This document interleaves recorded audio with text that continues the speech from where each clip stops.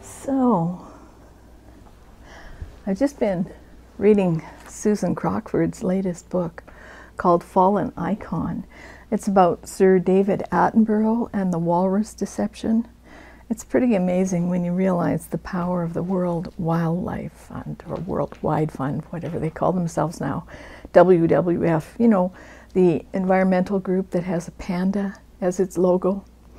Anyway, it's an excellent book, and I bring it up because the story that I want to read you is a paper that I did, which is a rebuttal to a paper that attacked Dr. Susan Crockford. And, um, you know, polar bears, of course, have always been a big part of the climate movement. It's really sort of the icon for disaster. It's uh, the reason Greta Thunberg stated that she fell into a depression because she was shown as a young girl at school a video of a dying polar bear, and it made an indelible uh, impression upon her. And of course, that's that's tragic. I don't know how many of you remember there was actually a cult of the climate polar bear in the form of Knut. And Knut was a baby polar bear that was adopted by a zookeeper at um, the Berlin Zoo. And there was a huge cult following, and they even made this little Knut bear. and he is pretty cute, Knut. So, anyway, my paper revolves around that, and it's a rebuttal to the things that uh, were said in the paper um, that uh, attacked Susan Crockford. So I'm just going to read it. So it's a long read. Um, hope you'll bear with me if you feel like hearing a story on a snowy day like today. It's called The Cult of the Climate Change Polar Bear. Knut is dead. Long live Knut. So the abstract says um, Harvey et al. 2017 evaluate public commentary on internet web diaries or blogs about polar bear science as a proxy to measure climate change denial, a term used to delegitimize dissenting views on anthropogenic global warming, AGW, and climate change. Greenpeace has long employed the polar bear in its advocacy advertising for climate change action. The animal achieved cult status in 2005 when a polar bear cub nicknamed Knut was rejected by its mother at the Berlin Zoo. He was adopted and raised by a German zookeeper to the delight of the public worldwide. Knut's appearance on the world stage coincided with the release of the climate change movie An Inconvenient Truth, billed as by far the most terrifying film you will ever see. Knut's rise to fame overshadowed the work of a National Academy's press report that questioned the validity of the radiative forcing greenhouse gas theory of human-caused global warming. Knut died in public on March 19, 2011, drowning in the waters of his own enclosure. This paper deconstructs Harvey et al. 2017 and the framing of climate change in relation to polar bears and Knut, addressing influences in financial markets and the value of the Internet Public Forum. Cult of the Climate Change Polar Bear. Knut is dead, long live Knut. Everything that was bad about the world could be easily expressed by the image of a lone bear on a melting piece of ice. That's a quote from Zac Unger's book, Never Look a Polar Bear in the Eye. And it's a fantastic book. I highly recommend it. Climate change is one of the most complex interdisciplinary fields of study, characterized by atmospheric scientist Dr. Judith Curry as the, quote, mother of all super messy, wicked problems. A field where processes are so entangled with each other, it's nearly impossible to unravel them to define any singular cause and effect. Thus, to affect public policy, environmental non-governmental groups, ENGOs, such as Greenpeace, that advocate for public policy on conservation or climate change have developed powerful imagery to act as a shortcut for their message. A polar bear stranded on a small ice floe surrounded by a vast expanse of frigid water is, on some levels, a more effective form of emotional manipulation than a Fijian islander claiming that human caused sea level rise will sweep their nation away. Humans can be relocated and financially compensated. Innocent polar bears whose ice floes melt away must drown and die, and it's all your fault. Or so the public is led to believe. Harvey et al., 2017, argue that internet blogs that dispute certain facts or portrayals about Arctic sea ice or polar bears are, by proxy, denying climate change. This paper deconstructs Harvey et al.'s claims and explores the framing of AGW as an anthropomorphized animal totem cult and reviews coincident financial market influence on the message. So, the method that I employed in this paper, various key claims of Harvey et al. are reviewed and discussed. In principle, as per their reference to Pym and Harvey, 2002, the paper examines the five criteria for the truth for web surfers. 1. Follow the data. 2. Follow the language. 3. Follow the credentials and question self manufactured evidence. 4. Follow the money. And 5. Uncover the conspiracy. Harvey et al. state that, most importantly, any topic can be framed in exactly the way a communicator desires if it is not presented objectively, honestly, and with context. So, 1. Follow the data. A. Global warming or cooling. Harvey et al. opened their discussion with claims of the hottest year on record, referring to two of the same sources used by the World Meteorological Organization, or the WMO.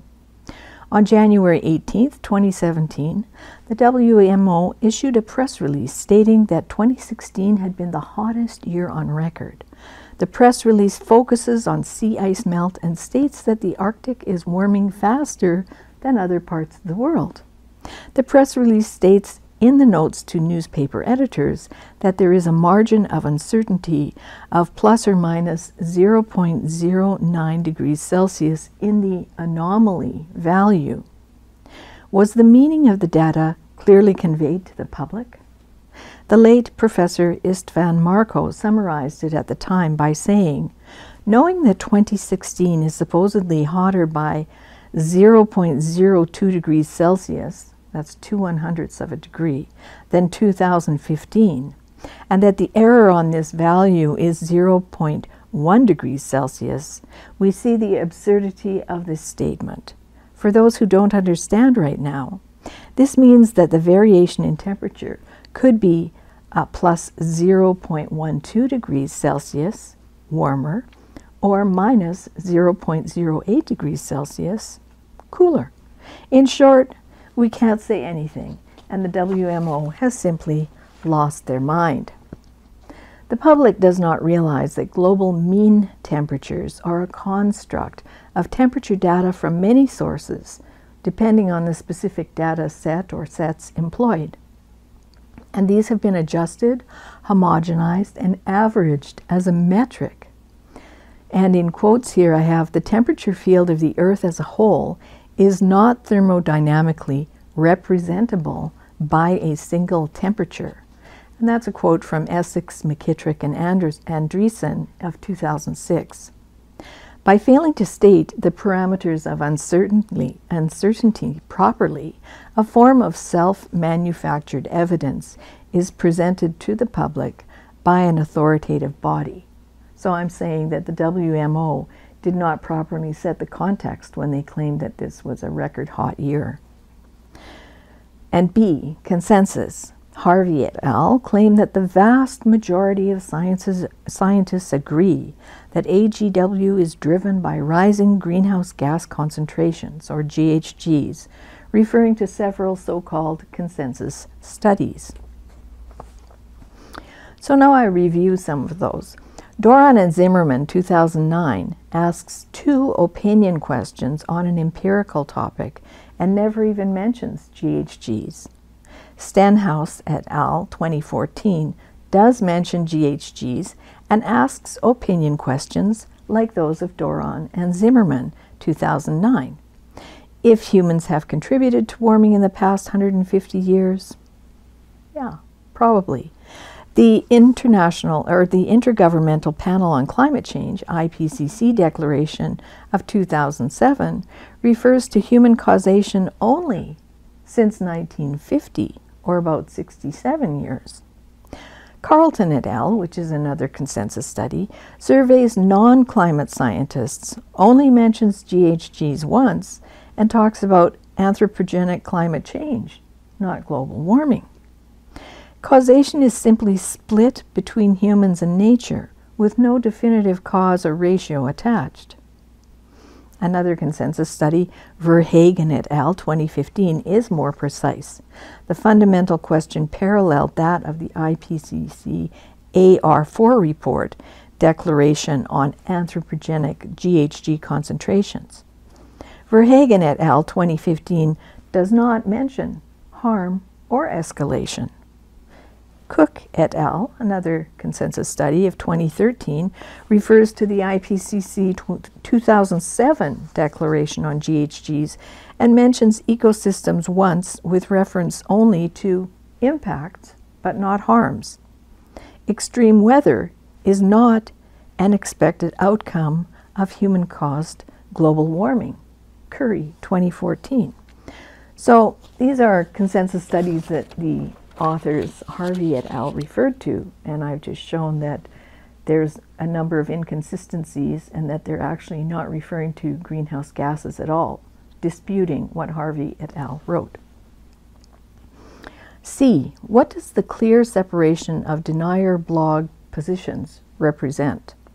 So, just to go back a bit, in the Harvey paper, they went through a survey of various internet blogs and picked out those who they claimed were deniers and who were using polar bear science work by Susan Crockford as their supporting evidence, which these authors say is incorrect.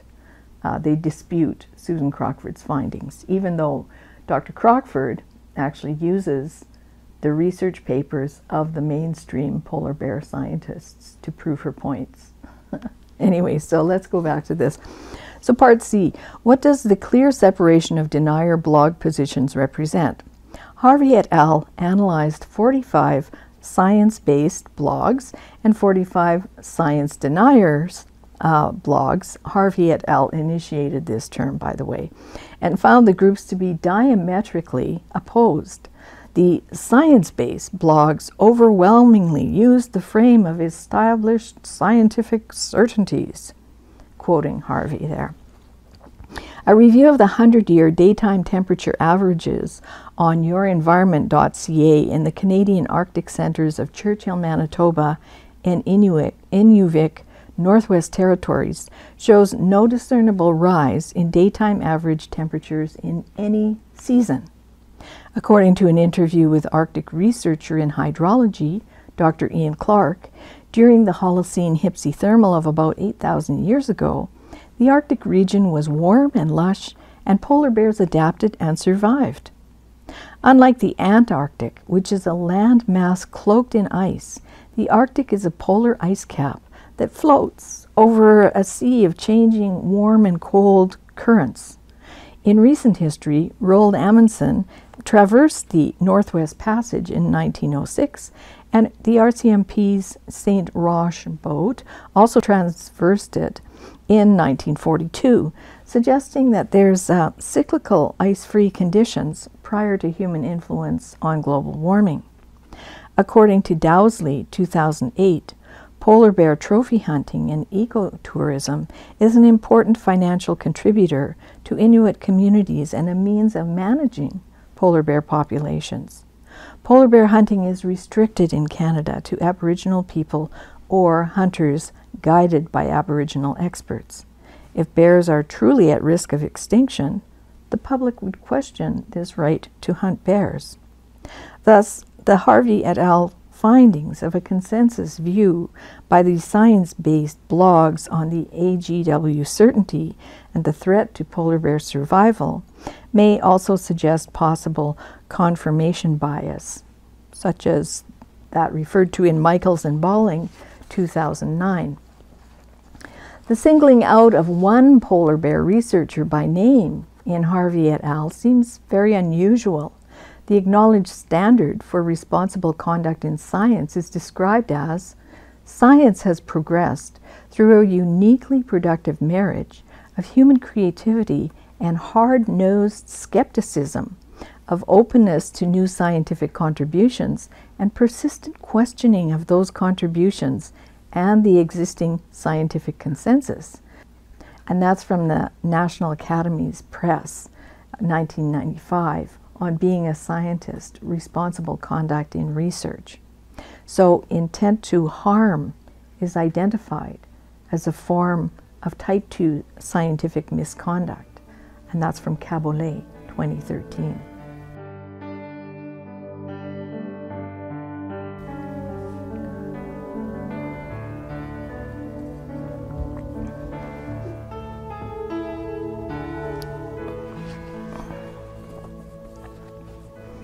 So, number two, follow the language. Competing definitions of climate change. Pielke, 2005, addressed one of the most confounding issues in the climate debate misdefining climate change, consequences for science and action. References in Harvey et al. Um, to dangerous human caused warming due to GHGs are based on the UNFCCC, that's the UN Framework Convention on Climate Change, a political definition of climate change. Indeed, as Pielke 2005 points out, danger is a relative term. A floodplain is not dangerous to anyone until someone builds there, such as during the California mega floods of 1861 and 1862, from Brewer, 1930. B. Follow the language of visual mythology, a charismatic polar bear. And here's a quote Polar bears are born with their eyes closed, weighing about the mass of a squirrel. That's from the Center for Biological Diversity Polar Bear webpage masthead. The orphaned Knut brought a cuddly charismatic face of climate change to millions of people at the Berlin Zoo and via the Knut cult that developed worldwide around him. Knut was born and became famous in the same year that Al Gore's climate catastrophe prophecy film, An Inconvenient Truth, was released, which featured animation of a swimming polar bear marooned in a vast open sea hopelessly pawing at a tiny life raft ice floe that disintegrated. Adorable photos of Knut nibbling on the fingers of zookeeper Thomas Dörflein, nose to nose kisses, or the two curled up together for a nap were the ultimate images of humans in harmony with nature. C. Names, name calling, and hyperbole. As early as 2004, Greenpeace was claiming to save the planet. We had to save the polar bears. Greenpeace says polar bears are more than just a poster child. Indeed, polar bears became a silent but instantly recognizable icon of human caused, warmer, catastrophic future, one rarely questioned, even with hyperbolic statements from Greenpeace like these. Studies estimate that a 7 meter, 23 foot rise in global sea level would result from this melt. Cities at sea level, such as Los Angeles, London, and Amsterdam, would be inundated. In the U.S., the coastlines of Florida and Louisiana would move inland. Thus, parties that bring up inconvenient facts about polar bear survival fitness are easily identified as heretical climate change deniers a term employed by the climate change movement since its early days. Indeed, in 2005, James Hoggan of Desmogblog stated, These are not debunkers testing outright outrageous claims with scientific rigor. They are deniers, like Holocaust deniers, shouting against a truth that they find economically unpalatable. They're not using science, they're using a toxic concoction of public relations stunts of which any good PR professional should be ashamed. That's James Hoggan, the Smog Blog. He runs a PR firm. so, accused of manufacturing doubt, it was then easy to dismiss and delegitimize any dissenting scientist or public figure. By embedding fear of using fossil fuels and causing GHG emissions equals pollution, dirty, and imminent catastrophe climate change, death. Financiers of renewables, which provide long term stable financial returns, profitable subsidies, tax write offs, and ancillary investment markets, and other invested interests like natural gas or transmission line developers and environmental groups acting as proxies for them, these all combined easily proliferated their fearful message. Hyperbole became the business of climate change language, especially for Leviathan ENGOs with multi million dollar payrolls to make. An example revealed in the recent Resolute Forest Products versus Greenpeace discoveries. This was a big court case between a forestry company which sued Greenpeace for defamation. And in the discoveries, that's the period of time when each party has to show what their evidence is to the other party. Uh, these come out in court. Um, so, in that time period, one of these uh, things was found that in 2006, Greenpeace USA mistakenly issued a press release stating In the 20 years since the Chernobyl tragedy, the world's worst nuclear accident, there have been nearly, and then there's a space there and it says, fill in alarmist and Armageddonist factoid here. so this is one of their press releases that went out, but nobody filled in that spot. So it shows that they tend to um, inflate and exaggerate their claims. And as for sea level rise that allegedly threatens the polar bear in the world, if we follow the data, we find that Greenpeace headquarters are in the Netherlands, where about 21% of the country is below sea level. Some parts as much as almost seven meters below sea level, and Schiphol Airport itself is three meters below sea level. Sea level rise is about 1.5 millimeters per century. So that's the equivalent of about two dimes stacked on each other. Archaeological evidence shows that many regions, such as Doggerland, and people such as the Mesolithic Star Carr, have been lost to the waters or forced to move on, meaning that sea level rise and fall is something that's happened over time throughout history, throughout Earth's history, and throughout human history. And uh, sometimes people adapt, like the Dutch, and they build dikes and the delta work system to pump out the uh, seawater and groundwater. And sometimes people don't, like the Doggerland area and the Star Carr people. They had to move on. And Doggerland is that area between the UK and the mainland of Europe in the, in the sea there in the um, English Channel. So it sank by itself. anyway, so now we move to number three follow the credentials, the climate reality, dissent, and lack of evidence.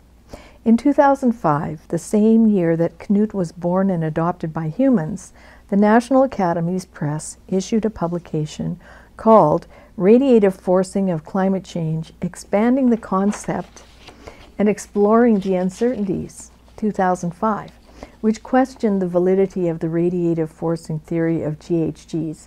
That's the theory that carbon dioxide and other greenhouse gases retain heat and cause global warming. warming. So this is the national academies that are questioning this fundamental theory.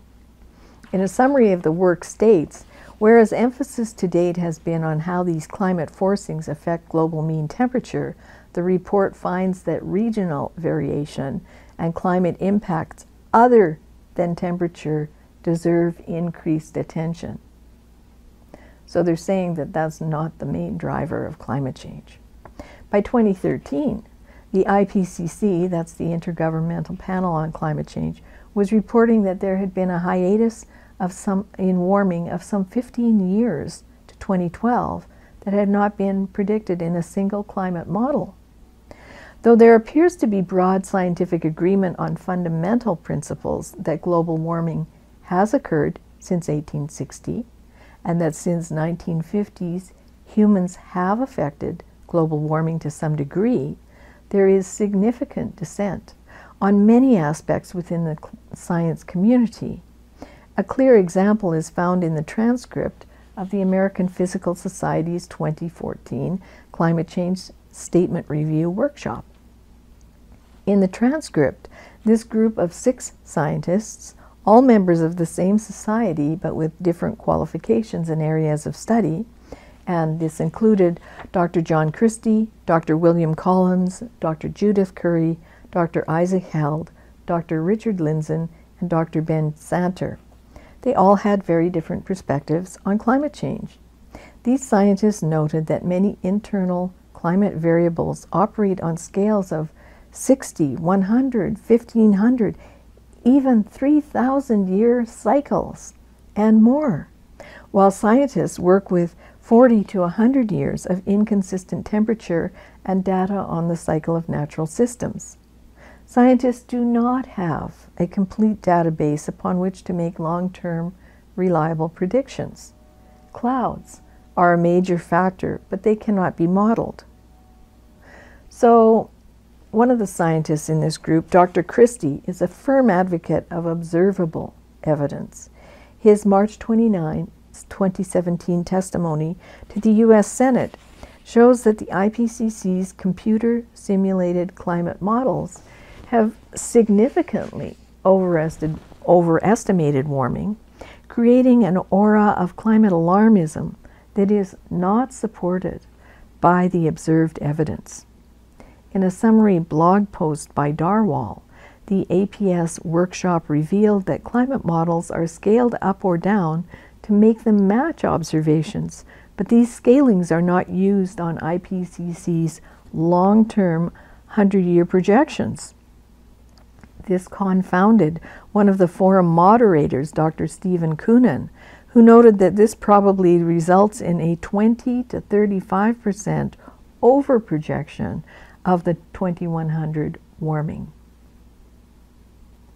And uh, by the way, Dr. Koonin was so alarmed by his uh, experience in this workshop that he ended up writing a book called Unsettled because he realized that climate science is far from settled uh, just by being the moderator at this uh, workshop. And uh, by the way, he was Obama's science advisor, so it's not like he was some guy from left field or wearing a tinfoil hat. He's a real scientist and was uh, granted great authority in the Obama administration.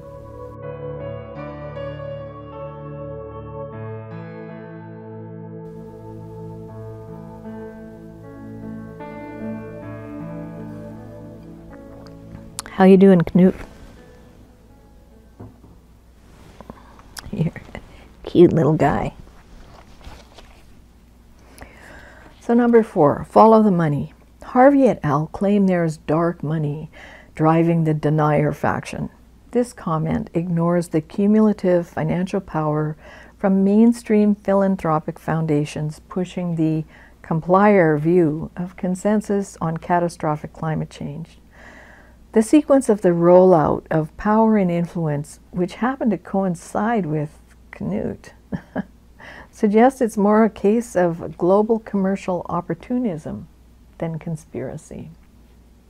As reported by Lawrence Solomon, in 1993, Enron was paying environmental groups, ENGOs, to push their renewables and natural gas agenda. which had made them a bundle of money on emissions trading, and which they saw could be formalized under the Kyoto Accord as, quote, the biggest money plays, the rules governing emissions trading, the rules governing transfers of emission reduction rights between countries, and the rules governing a gargantuan clean energy fund. So the Kyoto Accord was a predecessor to the Paris Agreement that people talk about today. And Enron was a company that uh, was at one point deemed to be one of the best country companies in uh, North America, but it kind of collapsed in a, a state of fraudulent accounting literally overnight. So, efforts to establish these three elements on a global scale persist to this day. So, that's the biggest money plays the rules governing emissions trading, the rules governing transfers of emission reduction rights between countries, and the rules governing a gargantuan clean energy fund. So, people are still trying to put this into place.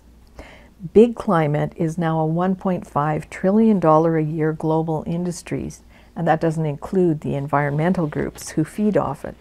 And it relies on the premise that carbon dioxide and greenhouse gases uh, from human caused industry are a dangerous global warming agent, and that by mitigating carbon dioxide, we can stop global warming and climate change. So, most corporations and the world of finance have either voluntarily adopted this AGW stance to retain access to institutional investment funds and bank finance, or because they can make more money or have better access to off limits Aboriginal resources by being under the climate change catastrophe umbrella. Elaine Dewar in 1995 revealed in her book A Cloak of Green that corporate opportunism was not shy about greenwashing on a grand scale to gain access to untapped resources held on the lands of indigenous people, often with the environmental groups opening the door. With a combined population base of between 250 to 350 million people, indigenous people are sitting on land that holds more than 50% of the world's undeveloped mineral resources. If counted as a nation, indigenous people would be the sixth largest nation on the planet. International Funders of Indigenous Peoples' ninth annual conference report, 2010, explores various methods of how offshore corporate and foundation funded ENGOs work with Indigenous people, often against sovereign governments, but not really on behalf of the Indigenous people. Consequently, by climate change cultists adopting the spirit annual uh, animal of the Inuit people, the polar bear, as an icon of the climate change movement, this is very influential and it appears to honor Aboriginal people. Chapin, 2004, of World Watch Institute, reported on such corporateer conservationists. They, they write, they see themselves as scientists doing God's work, says one critic, pointing out the conservationist scent of a divine mission to save the earth. Armed with science, they define the terms of engagement.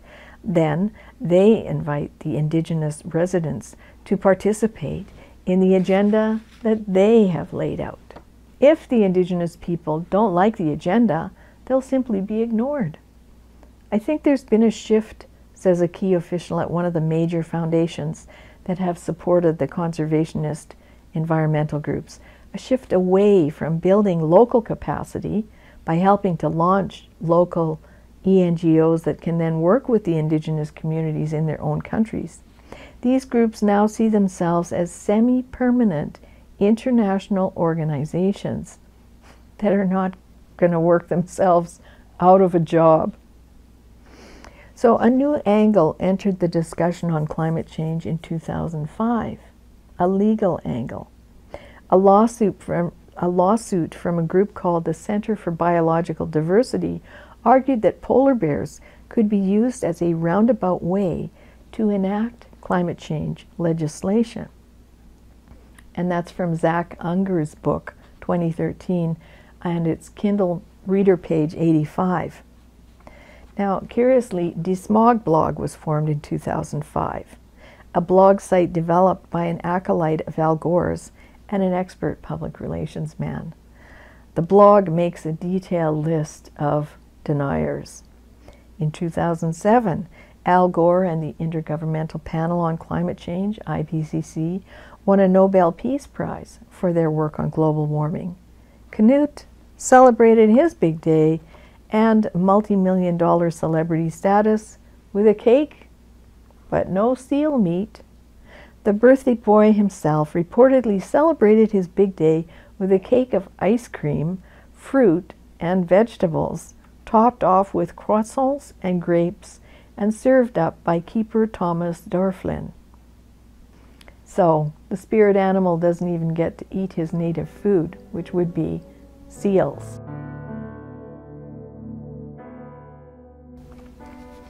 So we're continuing to assess this according to Harvey et al.'s parameters. And now we're on number five, uncover the conspiracy. Commercial opportunism that is out in the open and legal cannot be described as a conspiracy. But looking at the evidence, the confluence of powerful forces is clear. The parties involved do not acknowledge scientific uncertainties or that the GHG theory's validity is in question. They use the UNFCCC's political definition of climate change. Two major players are the CDP Worldwide and the UNPRI. So the CDP Worldwide is the Carbon Disclosure Project, and the UNPRI is the United Nations Principles for Responsible Investment. These are both transnational, unelected, unaccountable groups with tremendous power. Um, and low carbon sustainable investments are premised on the catastrophic AGW GHG theory. The CDP Worldwide, formerly the Carbon Disclosure Project, a Rockefeller Philanthropy Advisors charity, is situated in the UK and was established in 2002. Its purpose is to gather voluntary greenhouse gas emissions reports from cities and corporations to inform investors of sustainability factors. So CDP effectively creates a white and black list. The whitelisted players get institutional investors because they are signatory to the UNPRI. Blacklisted players face divestment, and private funds do not need to sign with the UNPRI.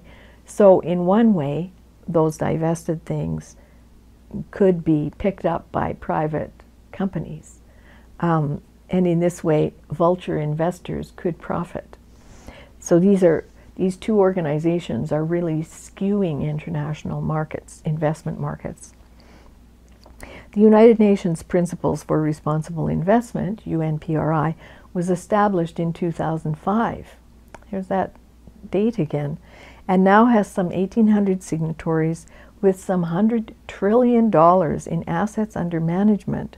Most of the signatories are institutional investors, large corporations, and academic, beneficent pension fund plans that pledge to invest in sustainable development and are to follow the UNPRI's six principles.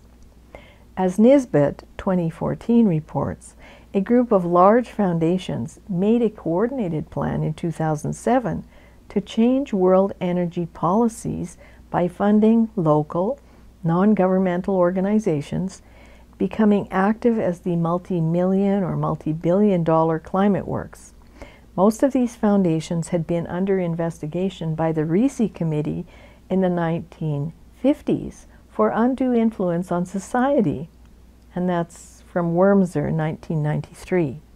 By 2014, the U.S. Senate Minority Committee was reporting the chain of environmental command, how a club of billionaires and their foundations control the environmental movement and Obama's EPA.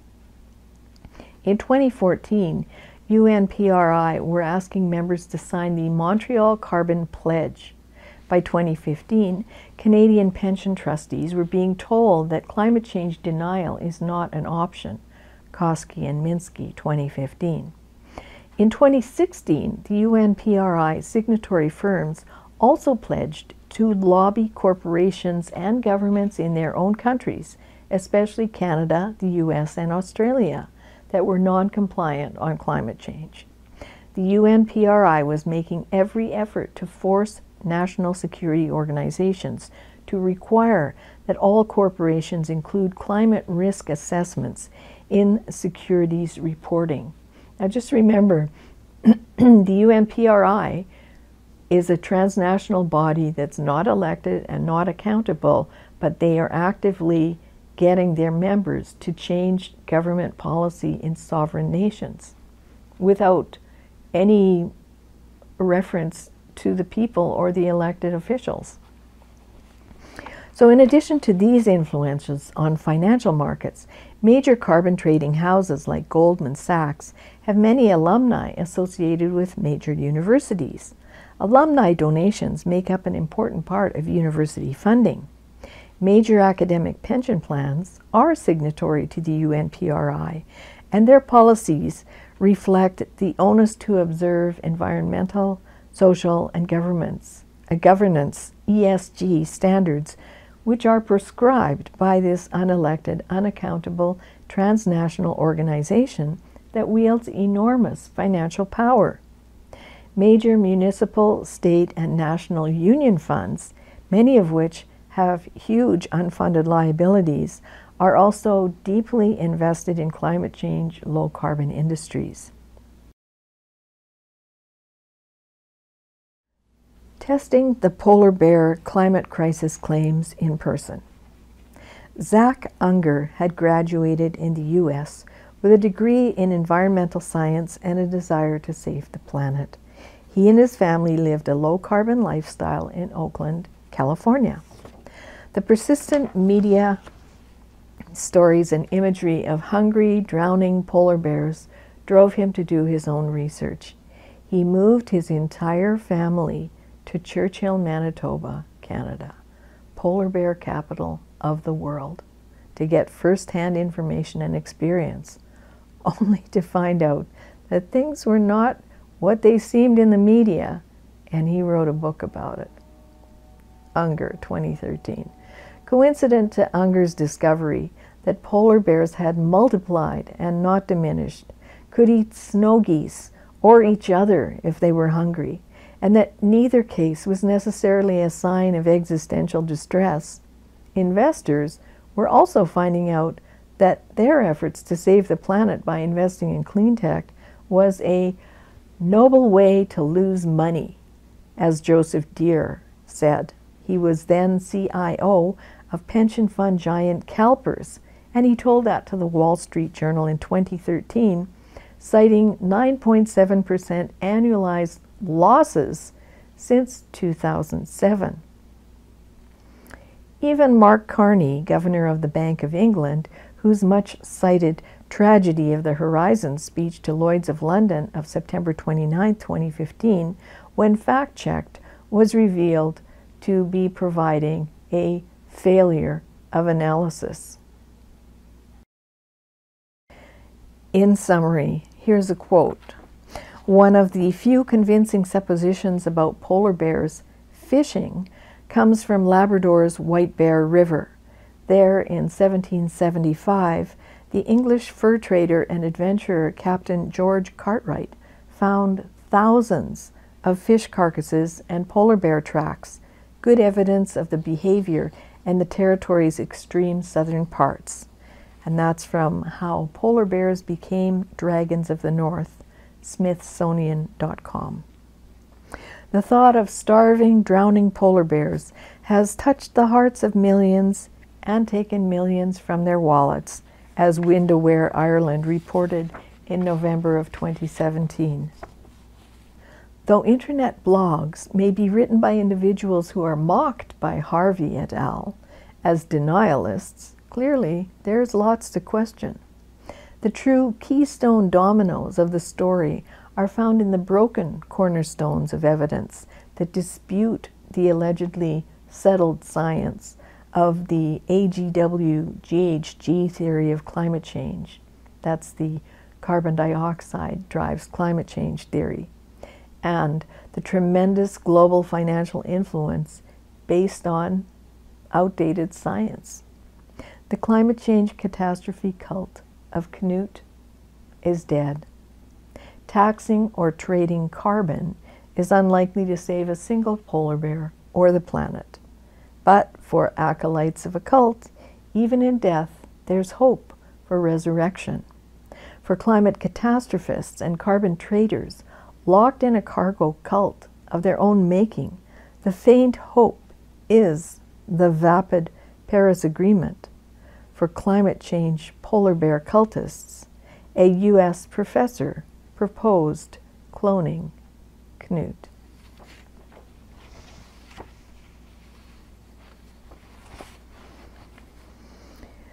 So, just to let you know, this is a, an independent work. I do acknowledge that I am the communications manager for Friends of Science Society. Uh, I was not funded or directed in any way to write this paper. I did it of my own volition, and Friends of Science Society was one of the denialist blogs noted in the Harvey et al. 2017 paper. Now, one further note on the Harvey et al. paper, one of the authors actually at the time, just about the time that it was released, also released a children's book called The Tantrum That Shook the World. And it was about a little girl who went and had a tantrum about climate change um, at City Hall and all over the place. And it's kind of funny in the world of climate change how two years later, a little girl ended up at the UN saying, How dare you, having a tantrum about climate change. But maybe that's just a coincidence. So I hope you enjoyed the paper and uh, feel free to subscribe and put some comments down below. I usually go through the comments and try and respond as best I can.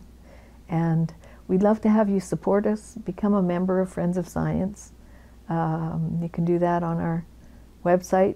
Uh, it's a nominal sum of money, and we send you newsletters and reports and uh, keep you up to date on what's going on in the world that you'll never hear in the mainstream media. So um, thanks very much for tuning in for Friends of Science Society. I'm Michelle Sterling. Hey Knut, want to go outside and play in the snow? He's a cutie, isn't he?